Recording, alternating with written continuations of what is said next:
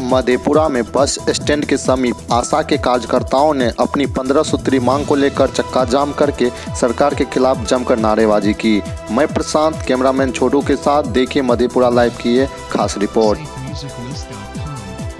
मत करना, तुम जिस काम को कर रही हो, सवाल है कि दफेदार और चौकीदार सरकारी सेवक हो सकता है। सरकारी सेवक क्यों नहीं सरकारी कर्मचारी का दर्जा दो बाद में बात करेंगे कि कितना वेतन।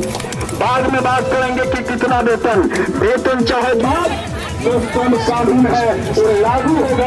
और सरकार को तमाम तरह की सुविधाएँ हमें देनी पड़ेगी, लेकिन जब तक हमको सरकारी सेवक का दर्जा नहीं दिया जाएगा हमको इस तरह से नियोजित और ठेका पर बहाली की जाएगी और तब तक हम हमारी मांगे पूरी नहीं हो सकती है।